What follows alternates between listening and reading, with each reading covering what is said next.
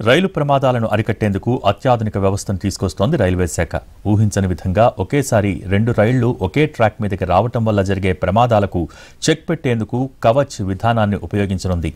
హైదరాబాద్లో పర్యటించిన కేంద్ర మంత్రి అశ్విని వైష్ణవ్ ఈ కవచ్ వ్యవస్థను పరిశీలించారు. సికింద్రాబాద్ డివిజన్లోని లింగంపల్లి వికారాబాద్ సెక్షన్ మధ్య ఎంఎంటీఎస్లో ప్రయాణించి పూర్తి స్థాయిలో సమీక్షించారు.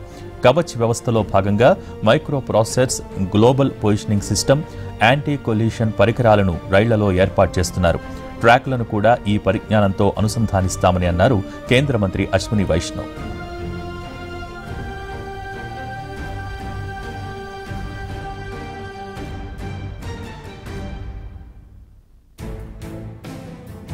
Honorable Prime Minister's vision of Atmanirbhar Bharat.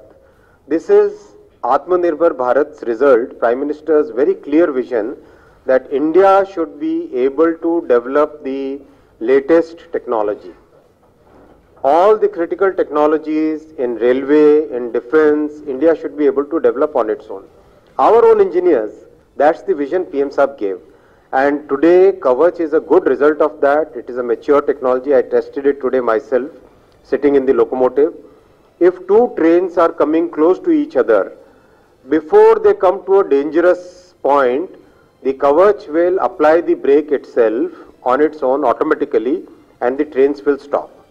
If two trains are going on the same track, one behind the other, then the rear train, the train which is behind the front train, this train will automatically be slowed down even if the loco driver or the pilot we call loco pilot doesn't apply the brake, then, all, then also Kavach will automatically apply the